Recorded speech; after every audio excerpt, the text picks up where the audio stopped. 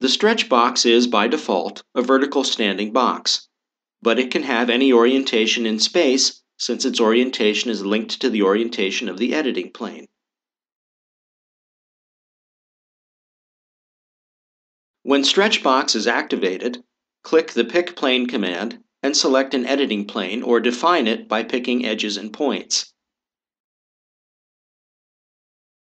The stretch box will be reoriented in space so that its main axes align with the main axes of the editing plane you just picked. The display feedback of the 3D stretch box shows that it is now not a vertical box, but a box that is standing on the editing plane.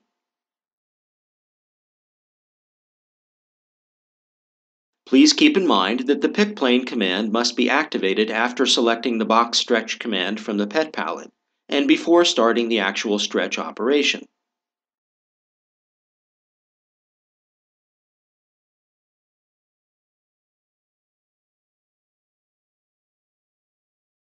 When the rotated stretched box appears, you can simply use it in the same way as you would a vertical stretch box.